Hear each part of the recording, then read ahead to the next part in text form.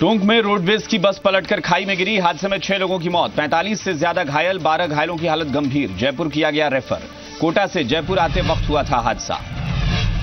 भरतपुर में ट्रेन की छतों पर सफ़र कर रहे हैं परीक्षार्थी। सब कुछ जानने और समझने के बाद भी खामोश है प्रशासन। न रेलवे ले रहा है संज्ञान, न प्रशासन। बड़ा सवाल, क्या हादसे का हो रहा है इंतज़ार? प्रतापगढ़ में अनियंत्रित होकर खाई में गिरी कार। हादसे के बाद कार में आग लगने से कार सवार की जलकर मौत। जलती कार से बाहर नहीं आ सका युवक।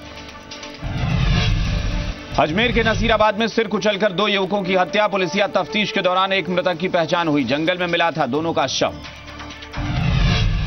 जोधपुर के बासनी में मामूली झगड़े को लेकर बड़ा बवाल। हथौड़े से मारकर एक मजदूर ने दूसरे को उतारा मौत के घाट। आरोपी की तलाश में जुटी पुलिस। टोंक के देवली में शराब तस्करों के खिलाफ कार्रवाई। ट्रक में तस्करी कर ले जाई जा रही 40 लाख की शराब बरामद। ट्रक का ड्राइवर और कंडक्टर गिरफ़्तार। गुजरात ले जाई जा रही थी शराब। श्रीगंगानगर में जुटे प्रदेश बीजेपी के कई दिग्गज। प्रदेश अध्यक्ष अशोक परनामी ने कहा, गहलोत सरकार की मुफ़्त दवा योजना में थी खामियाँ। हमारी सरकार ने खामियों को हटाया।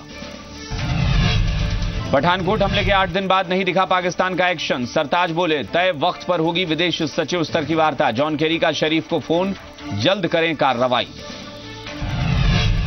2012 में सेना के दिल्ली कूच के दावे को वीके सिंह के साथ ही कांग्रेस ने भी नकारा। मनीष तिवारी बोले, मैं अपने बयान पर कायम।